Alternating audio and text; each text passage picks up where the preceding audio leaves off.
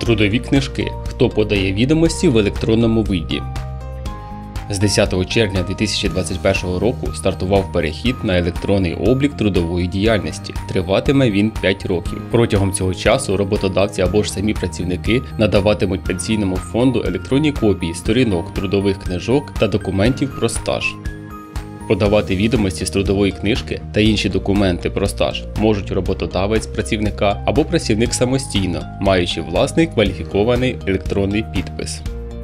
Якщо роботодавець юрособи зберігає у себе трудові книжки працівників, то відомості до пенсійного фонду передає роботодавець, адже віддати трудову книжку працівникові, який прийнятий на роботу до 10 червня 2021 року, роботодавець юрособа може тільки при звільненні або ж після того, як буде передано електронні копії сторінок трудової книжки пенсійному фонду, а останній їх обробить та прийме.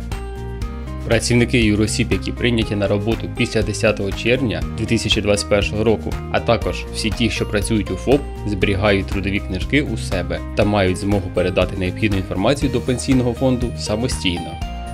Також не буде зайвим ознайомитись з порядком підтвердження наявного трудового стажу для призначення пенсій за відсутності трудової книжки або відповідних записів у ній. Цей документ підкаже, якими документами слід підтверджувати періоди, що входять до стажу.